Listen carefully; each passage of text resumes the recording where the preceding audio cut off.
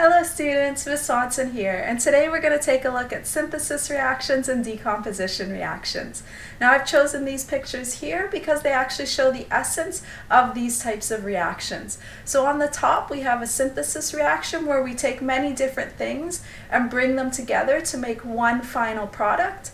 And then below we have a decomposition reaction where we have one reactant and it breaks apart into many different things. So we have three learning goals for today. The first is to identify synthesis reactions and decomposition reactions. The next is to complete synthesis reactions or decomposition react reactions when you're missing one of the reactants or one of the products, and to balance synthesis reactions and decomposition reactions. So let's start off with our synthesis reactions. They take the form A plus B come together to make AB. So two separate reactants, or it could be more than two, but you have separate reactants that come together to make one single product. So when we're trying to identify a synthesis reaction, we always look at the product side, and if we see just one single product, then we know we're dealing with a synthesis reaction. And I've given an example there with zinc and sulfur to give us zinc sulfide. Let's take a look at our decomposition reactions now. Here they take the form AB, so one compound, breaking apart into A and B. So you start with one reactant and it breaks into multiple different products. Now the key for identifying a decomposition reaction is to look on the reactant side and you should see only one reactant. If there's one reactant, then you're dealing with a decomposition reaction. And I've shown an example there. If you'll notice, it's actually the flip from the synthesis reaction. So it's zinc sulfide breaking apart into zinc and sulfur. And that's actually what happens. All synthesis and decomposition reactions, they're just the opposite uh, rules from each other to identify them and to, to find out what type of reaction you're dealing with.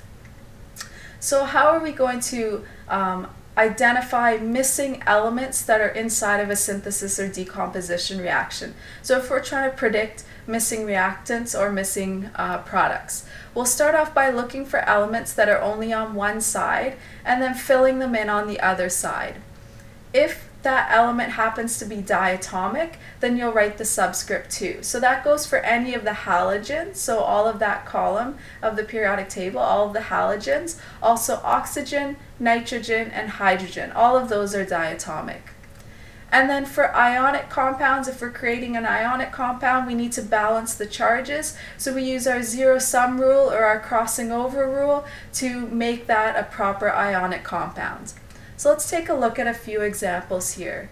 Here we start off, we have one reactant breaking into two products. Since we're starting with one reactant, we know that we're dealing with a decomposition reaction. Now if we look, we have mercury and oxygen on the left, only oxygen on the right. That means we're missing mercury, so we can add that in here. Now mercury is a metal, it's standalone, it's not diatomic, so we can leave it as is. Now if we want to balance this reaction, we can see we have more oxygen on the right than on the left.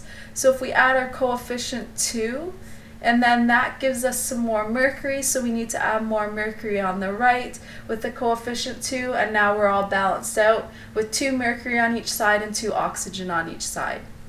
Let's look at this one. We have 1, two reactants giving us one product. Since we have one single product, we know we're dealing with a synthesis reaction. So here we have iron and oxygen on the right, only oxygen on the left. That means we're missing iron on the left. So now we can try to balance this equation. So again, uh, iron is a standalone metal, it's not diatomic, so we leave it as it is, so we're ready to balance.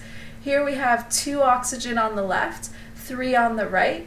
To balance that out, we put a 3 coefficient in front of the O2 and then a 2 coefficient in front of the iron 3 oxide.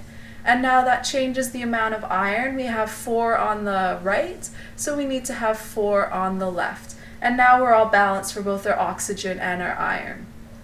Let's take a look at the next example. We have one, two reactants and one single product. One single product tells us that we're dealing with a synthesis reaction.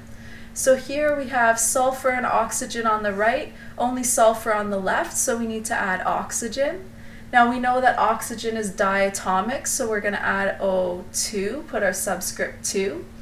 And now if we want to balance, we see that we have 8 sulfur on the left, only 1 on the right, so we'll add a coefficient 8 on the right.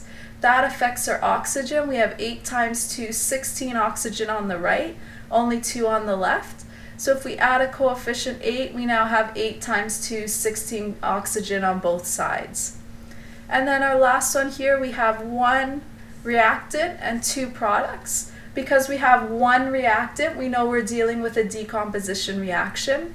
We have sodium and chlorine on the right, which means we have sodium and chlorine on the left. Now if we do our crossing over or we do our zero sum, we can see that sodium has a 1 plus charge, chlorine a 1 negative charge. If we cross over do zero sum, we realize that we need one of each. We don't write subscript 1, so we end up with the formula NaCl. Now if we want to balance this, we see there's two chlorines on the right.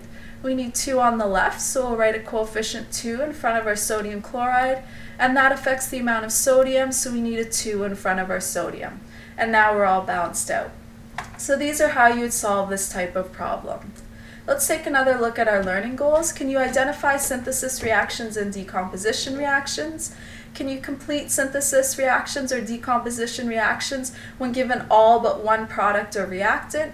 And can you balance synthesis reactions and decomposition reactions?